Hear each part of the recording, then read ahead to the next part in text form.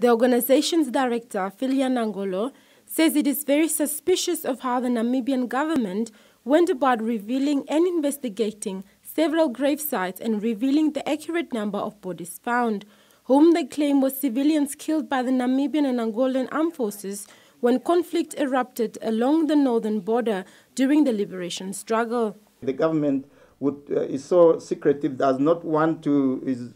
to, to, come, to come forth with, with the fact that they have killed people and they buried them somewhere. NamRights first exposed mass graves in the northern parts of Namibia in 2003, and since then it has been a struggle for NamRights to have the graves and the grave sites thoroughly investigated. However, the organization demands that those who committed these atrocities should be brought to book and justice must be served. We have specific information mentioning even names of persons allegedly who have taken place uh, a part in, in these, in these uh, killings or in these criminal acts.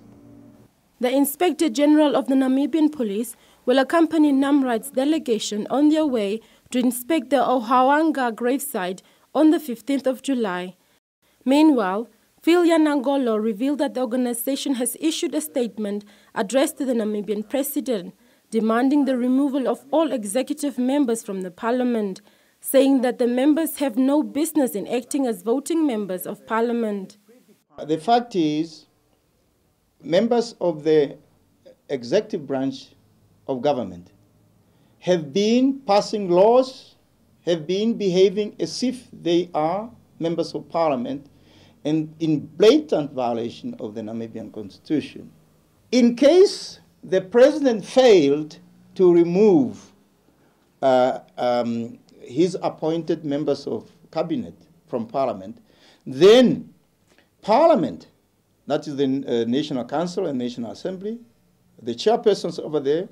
must do so acting in accordance with the relevant provisions of the Constitution.